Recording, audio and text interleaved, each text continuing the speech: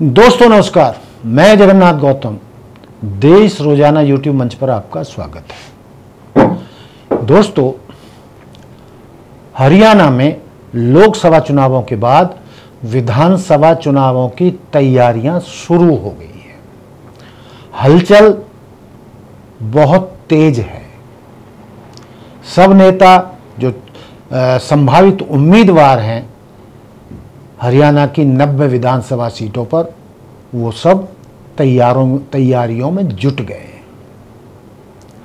लेकिन वो तैयारियाँ कितनी पूरी हैं, कितनी अधूरी हैं, इसी मुद्दे पर आज हम बात करने वाले हैं। और जो हम पहली बार आज जो बात करेंगे, आज सिर्फ़ हम लोकसभा संसदीय क्षेत्र फरीदाबाद में पड़ने वाले दो जिलों फरीदाबाद और पलवल की नौ सभा, नौ विधानसभा चुनावों में कांग्रेस की नैया कैसे पार लगेगी, इस पर चर्चा करेंगे। दोस्तों, आप जानते हैं कि जब 2019 में विधानसभा चुनाव हुए थे और लोकसभा चुनाव हुए थे तो भाजपा ने कांग्रेस की बड़ी दुर्गति की। और उन दोनों चुनावों में जो भाजपा के चुनाव, चुन मतलब भाजपा के उम्मीदवार जीते थे, वो बहुत ही ज़्यादा भारी मतों से जीते थे। लेकिन बेशक इस बार हरियाणा की 10 लोकसभा सीटों में से पाँच भाजपा ने जीत ली लिए लेकिन दोस्तों, पलवल, फरीदाबाद ज़िले की नौ संसदीय, नौ विधानसभा सीटों पर कांग्रेस आज भी बहुत बुरे दौर से गुजर रही है। आप कहेंगे कि भाई, इस बार तो कांग्रेस ने अच्छा प्रदर्शन किया है। दोस्तों, वो जहाँ किया है, वो वहाँ किया है। जिन पाँच लोकसभा क्षेत्रों में कांग्रेस जीती है, वहाँ अच्छा प्रदर्शन रहा है।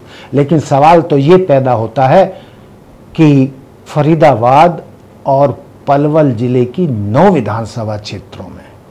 कांग्रेस की इस बार भी मट्टी पलीत हुई है। और वो कैसे हुई है? मैं आपको बताता हूँ। मैं मैंने मोटे तौर पे अ, 2019 के चुनावों की तो बात कर दी। यदि मैं उनके भी डिटेल दूँगा तो बहुत लंबी वीडियो हो जाएगी। इसलिए मैं इस बार जो इन नौ विधानसभा सीटों पर कांग्रेस को मत प्राप्त हुए हैं उनकी चर्चा करूँगा। और जितना अंतर रहा है तो मैं जवाब चाहूँगा कि कांग्रेस वालों, कांग्रेस के नेताओं या कांग्रेस का संगठन जवाब दे कि जब कांग्रेस हाईकमान इस बार, जो नारा लगा रहा है, इस बार सत्तर पार तो उसमें फरीदाबाद और पलवल ज़िले का क्या योगदान रहने वाला है? कांग्रेस इन नौ विधानसभा सीटों पर कैसे जीतेगी? जबकि यहाँ पर मैक्सिमम सीटों पर भाजपा ने कांग्रेस को बुरी तरह हिला बुरी तरह हराया है। अब मैं ये जमा खर्च वैसे नहीं कर रहा हूँ, अब मैं आपको आंकड़े बताता हूँ कि कहाँ, किस क्षेत्र में इन नौ विधानसभा सीटों में कांग्रेस कहाँ कहाँ कितने वोटों से पिछड़ी। जबकि माहौल इस बार बहुत बदला हुआ था और हालात ये थे कि इस बार चुनाव में जो भी पिछली बार से वोटों में बढ़ो, बढ़ोतरी हुई, वो प्रदेश की जनता या इन नौ विधानसभा क्षेत्रों की जनता की बदौलत हुई।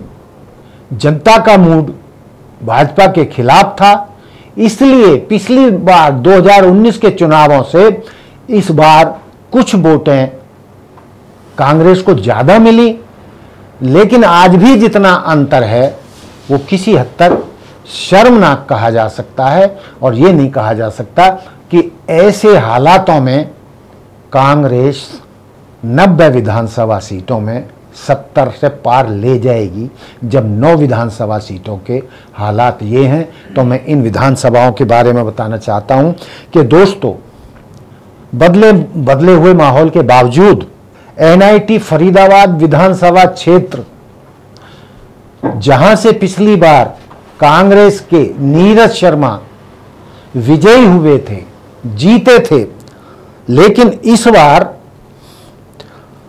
एनआईटी विधानसभा क्षेत्र पर कृष्णपाल गुजर को लोकसभा चुनावों में एक लाख आठ हज़ार पाँच सौ वोट पड़े। यानी नीरज शर्मा, जो कांग्रेस के विधायक हैं, एनआईटी विधानसभा क्षेत्र से, वहाँ पर कांग्रेस को मात्र छियासठ हज़ार आठ सौ दस वोट पड़े। अब लगा लें कि ये कितना बड़ा अंतर है। और यदि नीरज शर्मा को यहाँ से टिकट मिलता है तो वो कैसे इतने बड़े गैप को पूरा करेंगे? कैसे जीतेंगे? इसके बाद आते हैं हम फरीदाबाद सीट पर। दोस्तों, फरीदाबाद फरीदाबाद ज़िले की या लोकसभा क्षेत्र की प्रमुख सीट है। यहाँ पर कृष्णपाल गुर्जर इसी क्षेत्र के रहने वाले हैं 28 सेक्टर में रहते हैं और फरीदाबाद विधानसभा क्षेत्र में ये क्षेत्र पड़ता है। तो फरीदाबाद सीट पर लोकसभा चुनावों में छियासी हज़ार आठ सौ तिरपन वोट भाजपा को मिले, यानी कृष्णपाल गुजर को मिले, और कांग्रेस को मात्र पचास हज़ार नौ सौ साठ मिले। अब कांग्रेस के नेता बताएँ, प्रदेश अध्यक्ष बताएँ, और सभी बड़े अधिकारी या संभावित उम्मीदवार बताएँ कि फरीदाबाद में जो ये अंतर रहा है कि छियासी हज़ार आठ सौ तिरपन भाजपा को और कांग्रेस को पचास हज़ार नौ सौ साठ तो ये गैप कांग्रेस कैसे पूरा करेगी? जो इतनी पिछड़ गई है फरीदाबाद सीट पर, इसके लिए कांग्रेस क्या करने जा रही है? इसके लिए क्या कदम उठाए जा रहे हैं। इसके बाद हम फिर आगे बढ़ते हैं। तिगांव विधानसभा क्षेत्र। यहाँ तो कांग्रेस की और भी ज़्यादा बुरी हालत दिखाई दे रही है। तिगांव में भाजपा उम्मीदवार को एक लाख छब्बीस हज़ार वोट मिले, जबकि कांग्रेस को छिहत्तर हज़ार छह सौ सतहत्तर वोट मिले। ये भी चिंता का विषय है इतना बड़ा गैप होना, फ़र्क होना भाजपा और कांग्रेस के उम्मीदवारों के बीच या विधानसभा क्षेत्र में। आगे देखिए, पृथला। हाँ पृथला ज़रूर एक ऐसी सीट है, पृथला विधानसभा क्षेत्र। वैसे तो ये पलवल ज़िले में पड़ता है पृथला। तो यहाँ पर कांग्रेस के भाजपा के उम्मीदवार को छियासठ हज़ार छियासठ हज़ार आठ सौ पाँच वोट मिले, जबकि कांग्रेस को यहाँ पर चौहत्तर हज़ार पिचानवे वोट मिले। यानी यहाँ इस सीट पर, पतला सीट पर, कांग्रेस जैसे तैसे अपनी इज़्ज़त बचाने में कामयाब रही। और यह भी कहा जा सकता है कि पिछली बार यहाँ से नैनपाल रावत आज़ाद उम्मीदवार के रूप में जीते थे, लेकिन इस बार कांग्रेस ने यहाँ पर इस सीट पर निश्चित रूप से बढ़त प्राप्त की है। उससे आगे बढ़ते हैं। तो बल्लभगढ़ सीट बल्लभगढ़ सीट की भी स्थिति सोचनीय है। यहाँ पर भाजपा को नब्बे हज़ार नौ सौ इकतालीस वोट मिले और कांग्रेस को मात्र पैंतालीस हज़ार एक सौ छियासठ वोट मिले। कांग्रेस के समर्थक कांग्रेस की समर्थक ज, आ, मतलब जनता कांग्रेस को चाहने वाली जनता और कांग्रेस का हाई कमान किसी को भी टिकट देने से पहले ये ज़रूर सोचे कि भाई इतने कम वोट बल्लभगढ़ में कांग्रेस को क्यों मिले? और जो कांग्रेस के टिकट पर पहले चुनाव लड़े थे और अब जो लड़ने जा रहे हैं, वो क्या कर रहे थे? क्या सो रहे थे? यदि वो जनता के बीच जाते या जनता के बीच उनकी अच्छी छवि होती या उन्होंने बहुत बेहतर प्रयास किए होते तो बल्लभगढ़ में इतना फ़र्क न होता कि भाजपा को नब्बे हज़ार नौ सौ इकतालीस, अब कांग्रेस को मात्र पैंतालीस हज़ार एक सौ छियासठ वोट मिले। फिर आ जाते हैं बड़कल। दोस्तों, बड़कल भी हरियाणा की प्रसिद्ध विधानसभा क्षेत्र है। हालाँकि ये कुछ समय पहले ही बनी है, पहले ये एनआईटी विधानसभा का ही हिस्सा होती थी। तो बड़कल में भी कांग्रेस कोई बेहतर, ज़्यादा बेहतर सफलता हासिल नहीं कर सकी। यहाँ पर भी भाजपा और कांग्रेस के बीच में बहुत ज़्यादा अंतर रहा। और इसमें सोचने वाली बात यह है कि कांग्रेस से जो बड़कल क्षेत्र में ही रहने वाले, सैनिक कॉलोनी में रहने वाले महेंद्र प्रताप सिंह, जो कांग्रेस के उम्मीदवार थे, जो उनका ये गढ़ रहा है, और पिछली बार उनका बेटा खुद यहाँ से विजय प्रताप सिंह चुनाव लड़ा था। और मात्र ढाई हज़ार वोटों से चुनाव हारा था सीमा त्रिखाजी के सामने। लेकिन लोकसभा चुनाव में अपने ही क्षेत्र में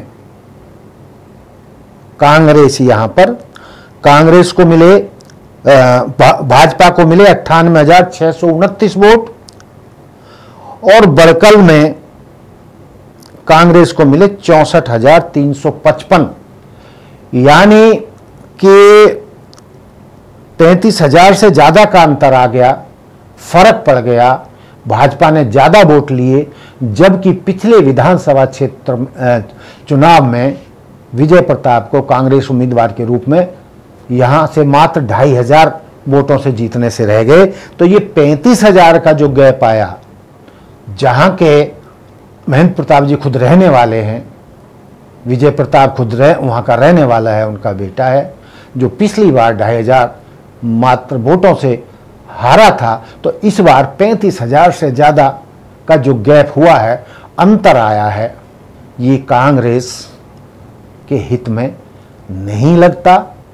कांग्रेस के सत्तर पार के नारे से मेल नहीं खाता और कांग्रेस के लिए ये शर्म की बात कही जा सकती है।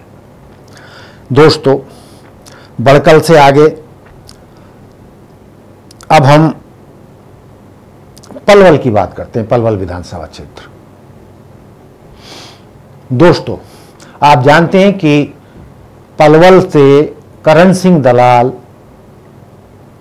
लोकसभा का चुनाव लड़ना चाहते थे प्रबल दावेदार थे और वो वर्षों से तैयारी भी कर रहे थे।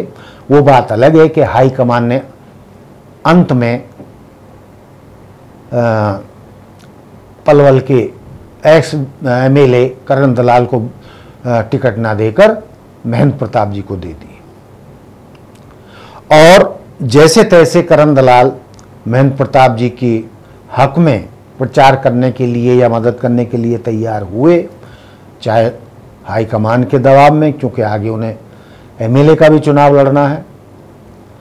लेकिन दोस्तों, जो करण सिंह दलाल लोकसभा चुनाव लड़ने जा रहे थे, पलवल में ही कांग्रेस की लुटिया डूबी बुरी तरीके से। आप देखें कि पलवल में कांग्रेस को चौरानवे हज़ार आठ सौ नौ वोट मिले और उनके अपोजिट भाजपा को कांग्रेस को उनहत्तर हज़ार आठ सौ पैंसठ वोट मिले। और क्षेत्रों की, मैं और क्षेत्रों की बात उतनी नहीं करूँगा लेकिन चूँकि करण सिंह दलाल एक बड़ा नाम है कांग्रेस में, विधायक रहे कई बार, मंत्री रहे हैं, और लोकसभा के उम्मीदवार भी बनने जा रहे थे, उनके क्षेत्र में भी कांग्रेस का इतने हज़ार वोटों से पिछड़ना, कहाँ चौरानवे हज़ार आठ सौ नौ और कहाँ कांग्रेस के उनहत्तर हज़ार आठ सौ पचपन वोट। तो दोस्तों, आप समझ सकते हैं कि कांग्रेस इस क्षेत्र में क्या चुनौती विधानसभा चुनाव में भाजपा को चुनौती दे पाएगी? आगे बढ़ते हैं होडल। होडल दोस्तों, प्रदेश कांग्रेस अध्यक्ष चौधरी उदयवान का गृह नगर है।